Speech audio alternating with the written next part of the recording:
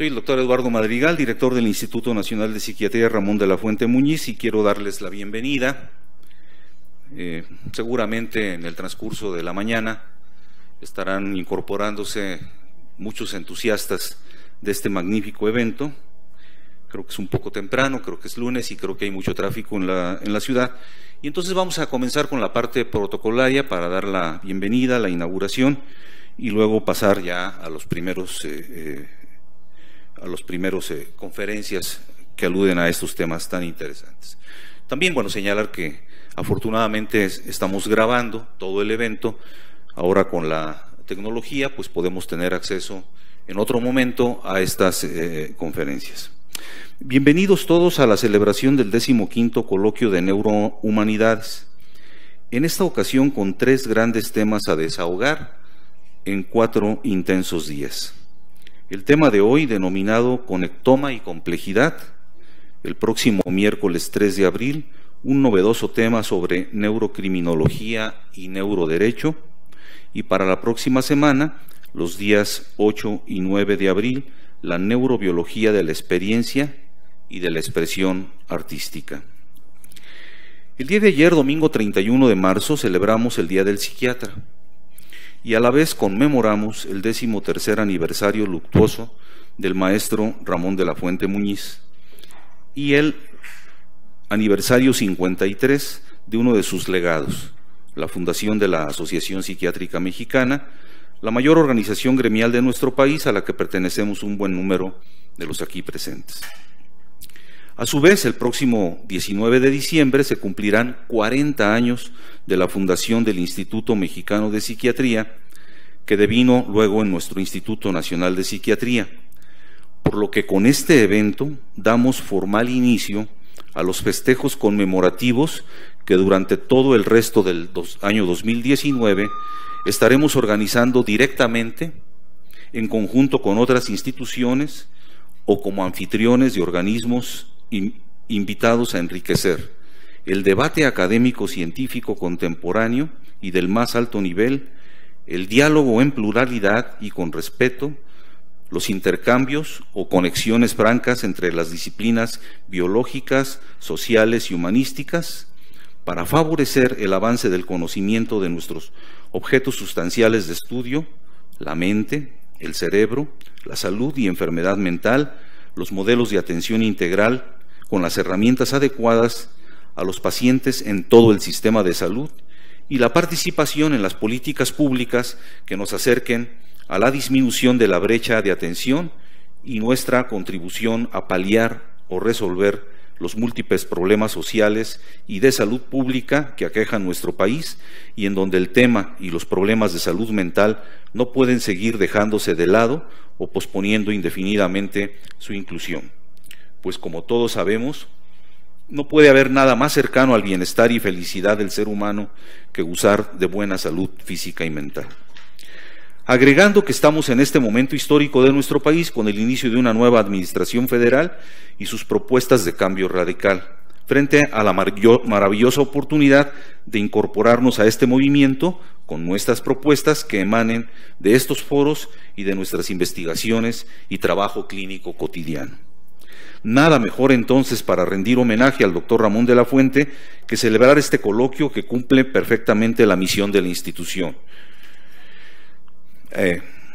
relacionar a través de la investigación las disciplinas psicológicas y médicas para modificar la forma de entender la enfermedad mental, brindar una atención integral, transformar los hallazgos en programas aplicables a la comunidad, formar recursos humanos sensibilizados y capacitados, mejorar las prácticas para la prevención de la enfermedad y formular recomendaciones para las políticas públicas en este país. Hablar del conectoma es hablar de las conexiones neuronales dentro del sistema nervioso de un organismo. El movimiento comenzó hace algunos años en algunos institutos nacionales de los Estados Unidos, el proyecto Conectoma, que tiene como propósito lograr un mapeo integral del cerebro para obtener datos sobre la organización de sus conexiones estructurales y la conformación de dinámicas funcionales. También estas investigaciones se han extendido hacia el estudio de cerebros patológicos, desarrollando hipótesis sobre algunos trastornos neuropsiquiátricos, tales como la esquizofrenia o el autismo. Entender los trastornos mentales a partir del concepto de red representa una ventaja respecto a los enfoques actuales de clasificación que niegan la naturaleza interconectada de muchos de ellos. Los estudios sobre el conectoma humano amplían nuestro conocimiento sobre el cerebro, sus redes funcionales y estructurales, su desarrollo, envejecimiento y sus alteraciones en diversas patologías. El conectoma nos sirve para comprender la complejidad de las neurociencias y su vínculo natural, pero en ocasiones poco entendido, con las neurohumanidades. El diálogo serio, científico, nos irá acercando poco a poco a la respuesta de nuestras interrogantes ancestrales. Quiero agradecer en primer lugar a los organizadores de este y los coloquios anteriores, inspirados y motivados por el doctor Francisco Gómez Montt, su capacidad analítica, su interés por estos temas tan novedosos y complejos a la vez, pero sobre todo la visión para seleccionar temas, profesores, contenidos que hacen de este evento una delicia y cada vez se institucionaliza como uno de los banquetes científicos esperados año con año en este instituto. Al doctor, a los coordinadores y que generalmente participan con el doctor Pellicer, al doctor, eh, con el doctor eh, Gómez Món, el doctor Pellicer, eh, Francisco Pellicer, al doctor Jesús Ramírez Bermúdez, a la doctora Guillermina Natera, al doctor Jorge González Olvera, al doctor Nicolás Martínez, doctora María Elena Medina Mora, a la licenciada Georgina Garmendía, al doctor Humberto Nicolini, en fin, a todos los que participan en la organización eh, junto con el doctor Gómez Mona en este evento. Y a las instituciones participantes, en esta ocasión el Instituto Nacional de Cardiología, el Instituto Nacional de Neurología y, eh, por supuesto, la Universidad Nacional Autónoma de México y en esta ocasión la Facultad de Bellas Artes de la Universidad Autónoma de Querétaro, la licenciatura en danza y el Laboratorio Experimental de Danza eh, y demás. A todos estos y a todos ustedes por su participación, muchas gracias. Quiero finalizar tomándole la palabra a una iniciativa que me comentaba el doctor Gómez Mon, escalar un poco el siguiente nivel de este coloquio y pasarlo a formalizar en la acción algunas de las este, eh, ideas que aquí se van eh, virtiendo. La propuesta de formar un equipo, un, equipo de investigadores eh, que trabajan estos temas para formar pues, una red de investigadores y hacer valer esto de la transdisciplinaridad, interinstitucionalidad. Comentaba, neuroimagen y complejidad que incluye al Instituto Nacional de Cardiología, por ejemplo, donde nació la cibernética, al Instituto Nacional de Ciencias Médicas de la Nutrición, impregnado, impregnado de pensamiento sistémico a través de, eh, sus redes eh, metabólicas establecidas, al Nacional de Neurología Manuel Velasco Suárez, donde inauguró la era de la neuroimagen en ese instituto, al Hospital Fray Bernardino Álvarez, pensando pues en eh, que cumple un papel muy importante en el trabajo asistencial con muchos pacientes, nuestro Instituto Nacional donde el pensamiento sistémico es fundacional,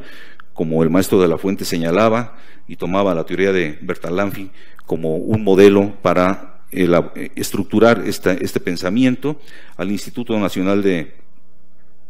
este, de medicina genómica con el doctor Nicolini, que fue uno de los fundadores también de este instituto, el Instituto de Matemáticas, etcétera, etcétera.